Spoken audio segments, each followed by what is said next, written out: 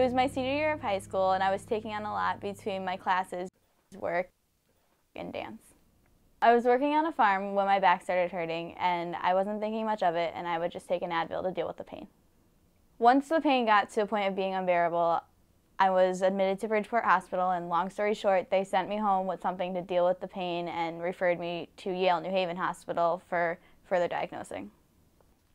After doing a CAT scan, they came back with my results, and the doctor sat down with me and my family and said, It looks like you have some sort of lymphoma.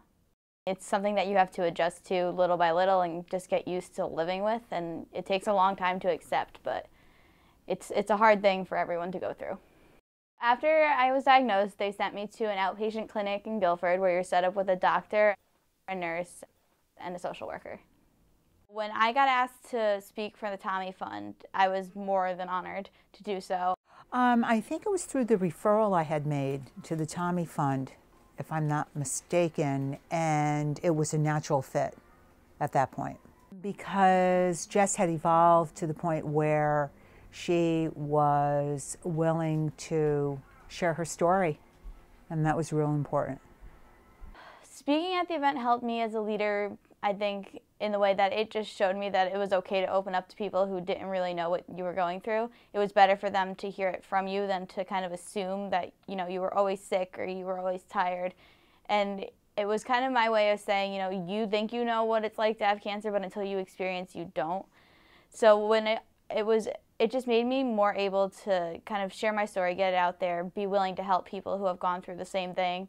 And it just led me to wanting to, it just led me to want to share and help people as much as I could with what happened to me. It didn't have to be a bad thing, it could be a positive.